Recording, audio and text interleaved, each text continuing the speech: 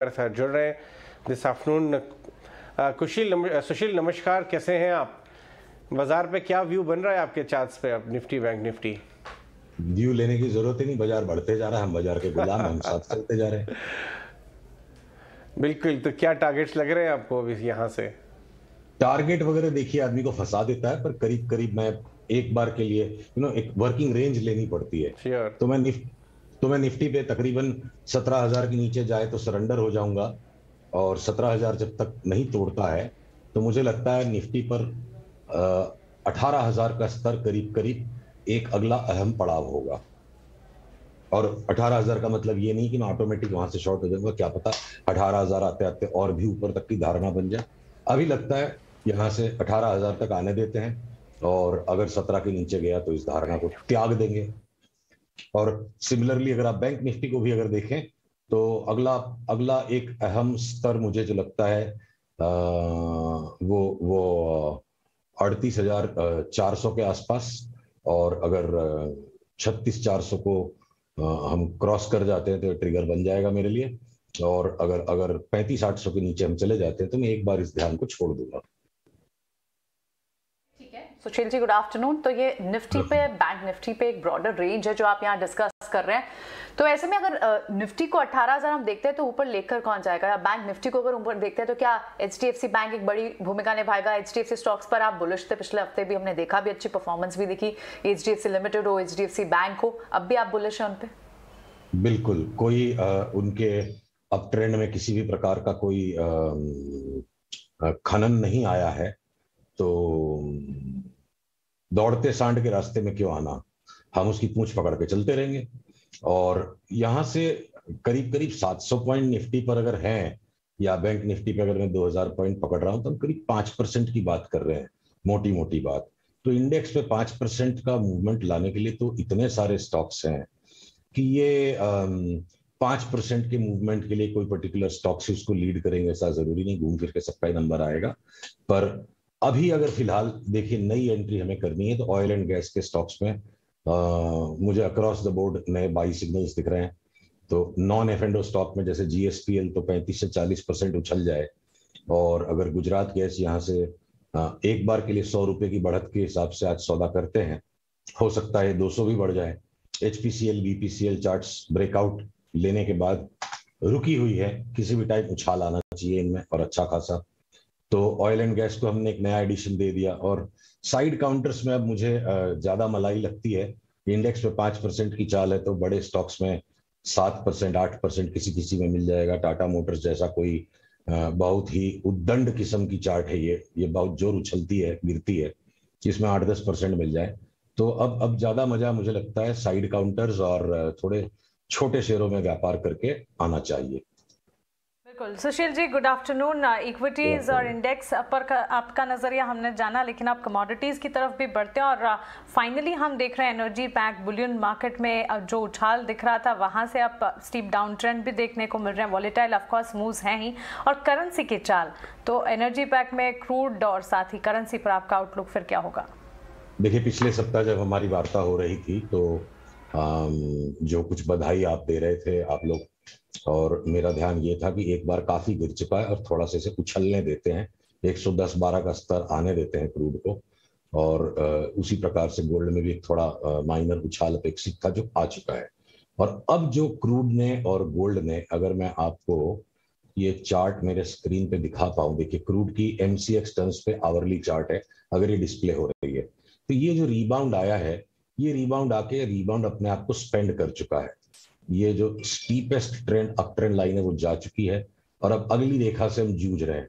और जहाँ ये इसके नीचे गया, मान लीजिए एमसीएक्स टर्म्स पे तिरासी सौ तीस के स्तर के नीचे जाते ही मैं कम से कम अढ़ाई हज़ार रुपया और क्रूड का दाम गिर जाए, ऐसा कॉल हमारे लिए ट्रिगर हो जाएगा। और देखिए फोरकास्ट करना, भविष्यवाणी करना और सौदा करना दो अलग चीज़ें हैं। ढाई हज़ार रुपया तक नीचे घटने की धारणा लेकर एक जिगरा लेके सौदा करना है सौ रुपए के स्टॉप लॉस से। आ, ही जाएगा। आ, ये बात तो सिर्फ़ मुझे लगता है विष्णु जी को भी पता नहीं है क्योंकि लक्ष्मी जी का भी मन इतना चंचल है वो मन है। तो लक्ष्मी के स्वामी विष्णु को भी नहीं पता कि उनकी भार्या का आज कहाँ हृदय है। तो बाज़ार है ये मन है अपनी मनचली चाले चलता है। स्टॉप लॉस रखिए सौ रुपए के स्टॉप लॉस से एटी थ्री थर्टी के नीचे एमसीएक्स टर्म्स पे क्रूड बेचकर एक बार अट्ठावन का भाव आ जाए तो मुझे कोई आश्चर्य नहीं होगा। और उसी प्रकार से गोल्ड में हम अभी भी बड़ी मंदी में बिल्कुल, अपने व्यूअर्स को बता दें कि सुशील जी का व्यू ये है कि इंटरनेशनल टर्म्स में अगर हम देखें तो 72 डॉलर्स का टारगेट उन्हें लगता है। एक बार 109 के नीचे 109 डॉलर्स के नीचे डिसाइसिवली आ गया तो वो आपको exact trading M C X पे के टर्म्स में बता रहे थे। सुशील जी, मैं बहुत क्यूरियस हूँ आपसे आईटीसी पे व्यू जानने के लिए। बहुत दिनों के बाद, लोगों को रुलाने के बाद कितने मीम्स बन गए क्या क्या ना हो गया बट धीरे धीरे ढाई सौ के ऊपर आया है। और हम उसके उनके प्रोडक्ट्स की तरफ़ नहीं जाएँगे अभी। वो आप ट्रैक करते हैं, वो भी बहुत क्लोजली मुझे पता है, लेकिन आप चार्ट से बताइए हमको, क्या हो रहा है? देखिए आईटीसी की चार्ट ऐसी है ना आज आपको कोई बात अगर मैं कहूँगा तो कुछ लोग बहुत बड़ा उपहास भी करेंगे और वो ठीक है, कोई दिक्कत नहीं है। अगर हमें पैसा कमाना है तो हम तैयार हैं कि कोई हमारे पे हंस भी ले। अगर कोई दो तीन साल का धैर्य रख सकता है, मैं वो चार्ट अभी आपको स्क्रीन पे नहीं दिखा पाऊँगा तो आईटीसी का दो तीन साल में अगर 800 900 का भाव भी हो जाए तो मुझे आश्चर्य नहीं होगा। पर उस प्रकार का धैर्य रख पाना बहुत कठिन हो जाता है, खासकर जब इतना ज़्यादा ये स्टॉक रुला चुका है। ये अल्टीमेट लैगार्ड है पिछले डेढ़ साल की तेज़ी का। और इस वक्त जो एक बार ये 250 के ऊपर चला गया और इस पर जो सेलिब्रेशन शुरू हो गया है तो ये अभी भी ये चाल संदेहास्पद है। इन्वेस्टर के लिए 200 से लेकर 250 की इस रेंज में आप जितनी खरीदारी करके पोर्टफोलियो में डालें अगला पड़ाव साढ़े तीन सौ का, साढ़े तीन सौ से वापस दो सौ सत्तर, दो सौ सत्तर से फिर साढ़े चार सौ, फिर साढ़े चार सौ से सौ डेढ़ सौ घटेगा। पर आप अगर इन्वेस्टर हैं तो आप सात सौ, आठ सौ के भी ध्यान से इसको तीन, दो से तीन साल के व्यू में लेते हैं तो मुझे वो बात कहने में चार्ट के बेसिस पर बिल्कुल भी संकोच नहीं है। पर इमीडिएटली आज कोई लेकर के, अगले दस दिन में इसको अढ़ाई सौ का लेके तीन सौ में बेचने की ख्वाहिश में बैठा है तो मुझे लगता है धोखा होने की पूरी संभावना है।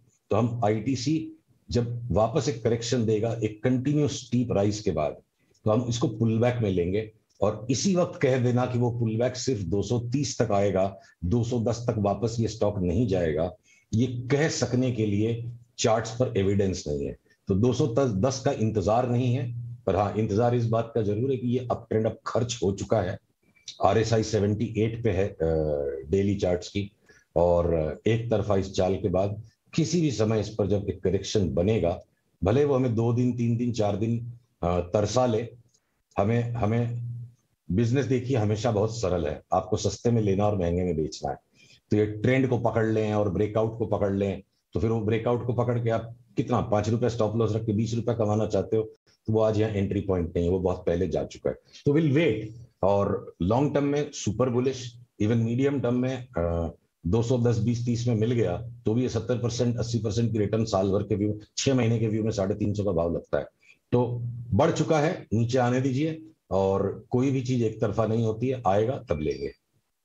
बहुत ही इंटरेस्टिंग कॉल समझाते हुए आईटीसी पे कि पोटेंशियल इसका तीन गुने का है, अगर आपका व्यू तीन से चार साल का है। सुशील, मैं आपसे ये जो फार्मा स्पेस में तीन चार दिन में ज़बरदस्त हमने बहुत ब्रिस्क बाइंग देखी। आपका डिवीज लैब अड़तीस का लो बना के ऑलमोस्ट 45 46 आ गया। लॉरस लैब जो है 400 के नीचे जाके वापस अभी 600 बहुत सारे इंटरेस्टिंग मूव्स हैं और बिंदु भी एंड सन फार्मा को देखिए, और लाइफ टाइम आए। उनके कुछ, ये कुछ चार्ट्स आपने इधर कुछ स्टडी किए हैं क्या? कोई राय आपकी किसी पे? फार्मा सबसे पहले करेक्ट होके सबसे पहले नीचे गिरा हुआ था। और जब first round of fall Nifty का आया अठारह छह सौ से सत्रह हज़ार तक, सोलह आठ सौ तक। तो लग रहा था कि फार्मा का फाइनल बॉटम हो गया, पर अगले निफ्टी के फॉल में फार्मा को और कूट दिया गया। और एक कुटे हुए शेयर ऐसे पड़े हुए थे कि जैसे भी इनका कोई भविष्य ही नहीं है। और आ गए पुटिन साहब, कि अगर western pharma big pharma withdraw करता है तो इंडियन फार्मा को स्कोप मिल जाएगा।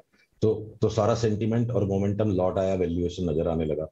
तो देखिए शेयर जो बढ़ गए हैं, वो अपनी जगह पे हैं।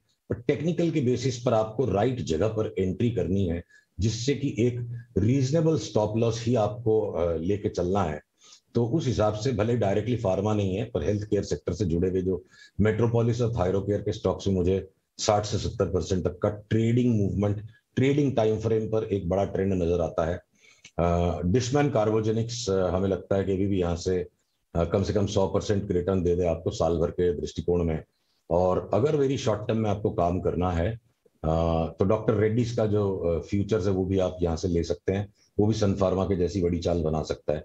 और एक बड़ी इंटरेस्टिंग चार्ट है जो स्ट्राइड्स फार्मा अपेक्षित है कि इस इस साल का जो रिज़ल्ट आएगा, वो कंपनी नेट लॉस ही डिक्लेयर करेगी। काफ़ी राइट ऑफ़ यूएस के बिज़नेस में किए हैं।